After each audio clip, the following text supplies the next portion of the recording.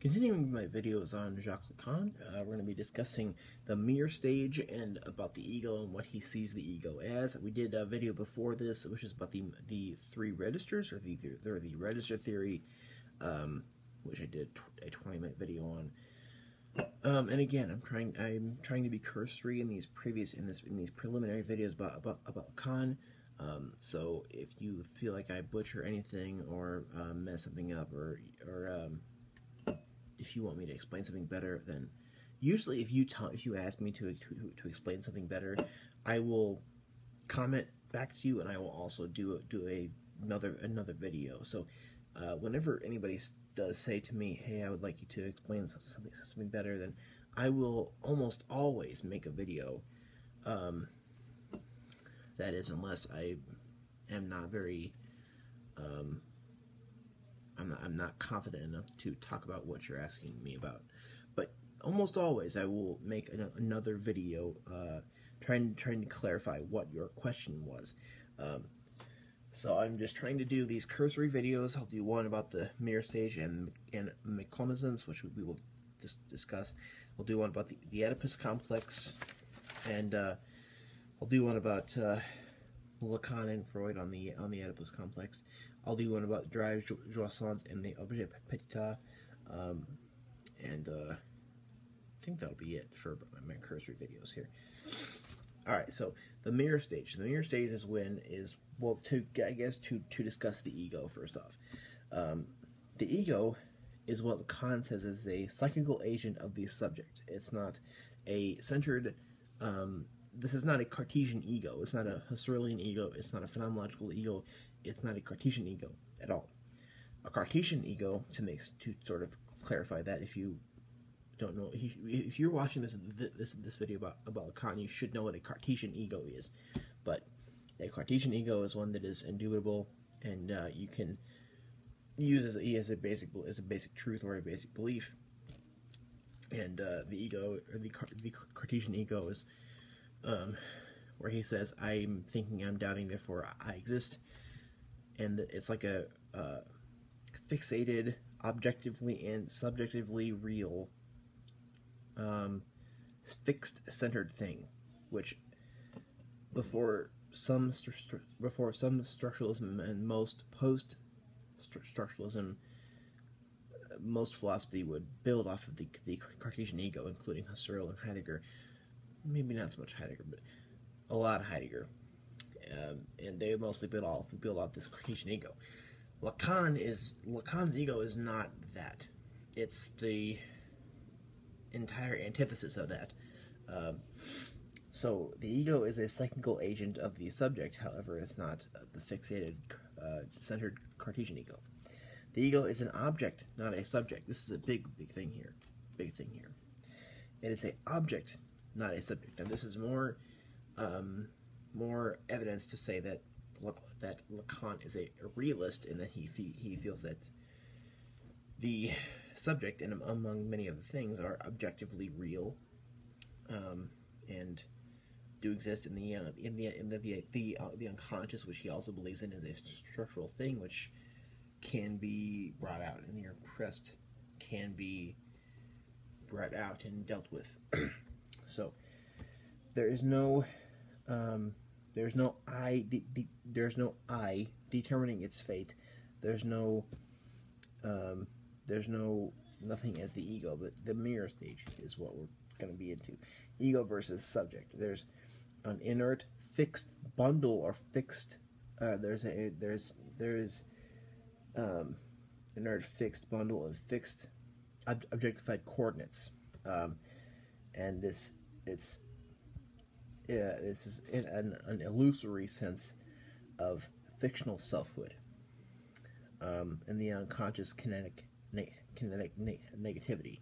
That's where the subject comes from. It's a, it's a, it's a illusion that you are looking in the mirror and, and, and that there is selfhood. Selfhood, the very idea of selfhood, is a is an illusory thing, if that makes sense. Um, and he's kind of for otherness too but he even sees the selfhood of others as um, illusory as well. So you really can't have even a, a otherness there either. Um, the subject speaks through the ego, um, but is distinct from that from from the ego. Young children, this is the the mirror stage. Young children see images of themselves in the mirror and helplessness of Freud. The help, helplessness which com- comes from Freud uh, of the mirror stage. So you see yourself and you're trying to figure yourself out. This helplessness here. Uh, this um, this is a motor impotence um, and a um, and a uh, nursing dependence, and there are negative and there are negative emotions here. And this person is trying to find themselves. They're able to attain wholeness of, of self, and it's like an it's like a never-ending stage. And I think we all know that in life. Now, personally, I don't I don't I don't agree with with with Lacan on many things, and I think that he did a lot of bad things in his life. Uh, as a psychoanalyst and a psychologist, and he did a lot of not so good things. He was kind of a shitty person, I'd say. But nothing about that here. Uh, I think that um, some of some of the things he said he says are true, but not about nothing about my opinions here. Just trying to to to, to elucidate here to sh- sh- shed some light. Um, so there's this kind of ever-ending, never-ending um, quest to figure yourself out. This is, in my experience, this goes beyond your childhood even. Uh, it starts it starts in your childhood when you look in the mirror and you try to figure to try to figure yourself out. But and you're trying to find a wholeness of self, and you're trying to um, trying to get beyond this dependence and trying to be independent and trying to be whole. Um, so then there's this word méconnaissance or misrecognition of self of self in the mirror, um, and that there is a fluid, autonomous um, I, and there is there is none. Um, recognizing oneself as a particular I. Uh, Paul Ricoeur in his uh, selfhood or uh, one self as another does refer to this self as a real selfhood and as a basic particular. Um, and Lacan will be not for his for his philosophy at all. Um, so now we have this other versus other thing going on between the symbolic and the real and the symbolic order and the um, and this unknowable X about people. And there's this gaze going on. And I'll discuss more about the gaze in a further future video. But um, there's this imaginary ego and and accompanying egos which are illusory and imaginary. They have to be a part of they have to exist. Like I mean I'm trying to say there's this imaginary register where things are viewed at to things are viewed to exist and they must things must be that way. That's one that's one of the registers and that's a part of who we are as people. But there is this this mis this misrecognition of yourself as a self unfluid autonomous self in the in, in the mirror.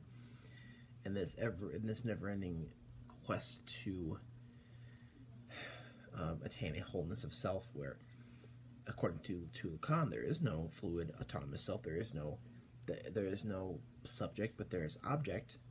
There is no ego among among accompanying other egos. There is objective um, coordinates. There are fixed fixed coordinates which appear to, to to themselves and to others as subjects. But um, it seems like we it seems, it seems like when we look at Lacan's theory things get messy about who's who and what is what. I mean, th- I mean, things get messy when we do this. Uh, when we, when we do try to do any, any metaphysics, things get messy. But I don't think he really wanted that anyway. But it appears to me that once you do this this whole thing, when you think about the registers, things get a little bit messy, and we don't really know a whole lot a whole lot anymore. To me, it's not convincing, but I mean, it's it was a very well it was a very prominent theory in its time. Um, all right, so that's my thing about the about the méconnaissance um, and the mirror stage. Let me know if I mess if I've messed anything up or uh, misexplained something, and if, if you want if you, if you want me to explain something further, then I then I will do so. Tell me in the comments, and thank you all very much.